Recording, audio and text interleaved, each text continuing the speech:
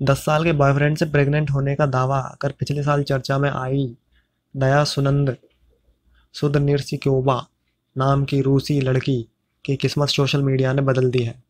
चौदह साल की उम्र में एक माँ होने के साथ आज वो इंस्टाग्राम से हर महीने पाँच हज़ार पाउंड्स यानी पाँच लाख रुपए करीब कमा रही हैं।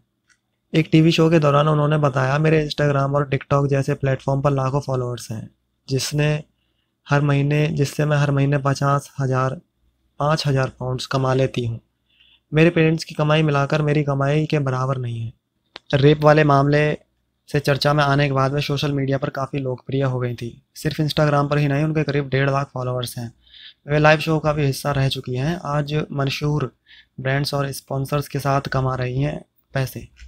और मतलब है कि देश दुनिया में नाबालिग लड़कियों से गर्भवती होने या माँ बनने की घटनाएँ अमूमन सामने आती रहती हैं। मगर 10 साल का बच्चा भी किसी तेरह साल की लड़की को प्रेग्नेंट कर सकता है तो आप यकीन नहीं करोगे। इसी अनोखे मामले ने डॉक्टर को भी सोचने पर मजबूर कर दिया था।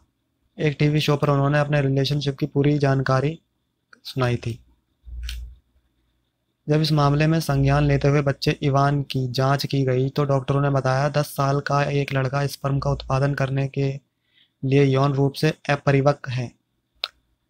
वह इस उम्र में पिता नहीं बन सकता जबकि लड़की का कहना है कि कोई उसका और पार्टनर नहीं है। लड़की की बात का साइकोलॉजी ने भी समर्थन किया है। हालाँकि बाद में दया दारिया ने कबूला था कि उसका दस साल के लड़के के साथ रिश्ता नहीं है, बल्कि उन्हें किसी दूसरे व्यक्ति ने प्रेग्नेंट किया था।